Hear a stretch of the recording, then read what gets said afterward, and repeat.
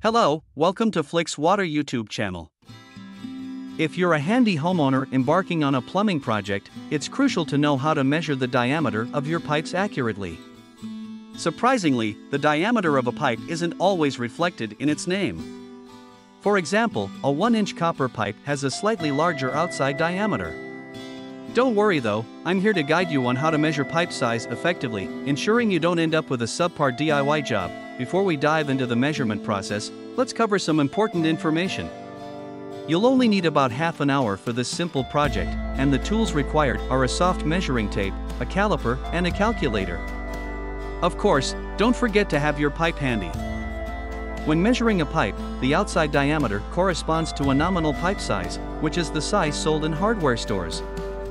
For instance, a half an inch copper pipe has an outside diameter of 5 eighths of an inch. If your pipe is smaller than 14 inches, you can use an online chart to convert your measurement into the pipe size.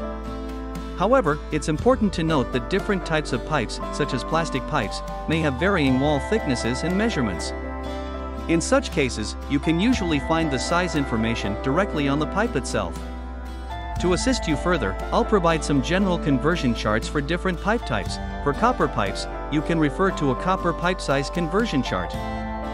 Similarly, PVC, stainless steel, and brass pipes have their own conversion charts as well. Now let's move on to the practical steps of measuring pipe size. Step 1 Check the pipe for a number. Before taking any measurements, inspect the pipe for any labeling.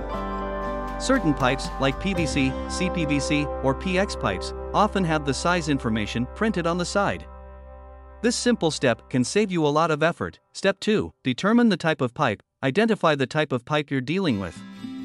There are three main types male pipes, female pipes, and no thread pipes. Male pipes have grooves on the outside to fit into female pipes, female pipes have grooves on the inside to grip male pipes, no thread pipes have smooth ends with no grooves. Keep in mind that measuring female pipes requires a slightly different approach. Step 3 Measure your male or no thread pipe. If your pipe is still connected to the plumbing and doesn't have an exposed edge, you have two options to measure a male or no thread pipe using a caliper or a soft measuring tape.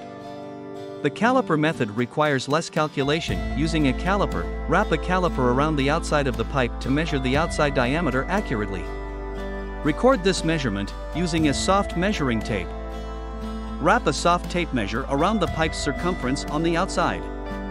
Then, divide the circumference measurement by pi, approximately 3.1415, to obtain the outside diameter. Step 4 Measure your female pipe. When measuring a female pipe, you need to determine the inside diameter, which refers to the width of the pipe hole, excluding the thickness of the pipe walls. To measure this, use a caliper to measure the distance between one inside edge of the pipe to the other inside edge. Step 5. Convert the diameter to the nominal size. To determine the nominal pipe size, the size available for purchase, you need to convert your diameter measurement. Remember, for male or no thread pipes, use the outside diameter, whereas for female pipes, use the inside diameter. You can refer to the conversion charts mentioned earlier. If you have a different pipe material or remain unsure, search for a specific table online or consult the manufacturer.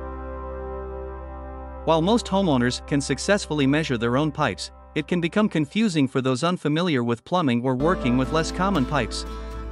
Various pipe sizing standards, such as copper tube sizing, CTS, and the iron pipe standard, IPS, have different size conversion charts.